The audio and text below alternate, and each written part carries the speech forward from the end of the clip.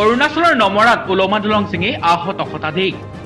বিশ্বনাথ জিলাৰ অৰুণাচল সীমান্তৰ বনভোজস্থলী নমৰাত ওলমা দলং ভাঙি আহত হয় শতাধিক লোক। ইতিমধ্যে বিশ্বনাথ চাৰিআলি অসামৰিক চিকিৎসালয়লৈ লৈ অহা হৈছে আহত লোকসকলক।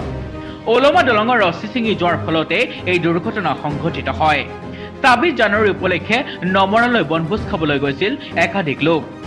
বনভোজৰ আনন্দত মতলীয়া হৈ আছিল লোকসকল। আনকি পৰ্যটকৰ আকৰ্ষণৰ কেন্দ্ৰবিন্দু এই ওলমা দলংখনত উঠি বহুতে ব্যস্ত আছিল চেলফি উঠাত। সেই সময়তে হঠাৎ ওলমা দলংখনৰ এডাল ৰছী ছিঙি পৰে।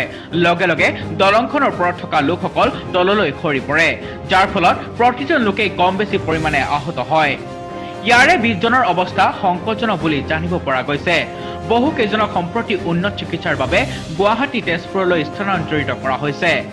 ইতিমধ্যে স্থানীয় ৰাইজে বিশ্বনাথ চাৰিআলি অসামৰিক চিকিৎসালয়লৈ আহি সহায়ৰ হাত আগবঢ়াইছে। চিকিৎসালয়ৰ চৌহদত উঠিছে কান্দোনৰ ৰোল। চতিয়াৰ পৰা প্ৰণৱ হাজৰিকাৰ report A W N twenty four news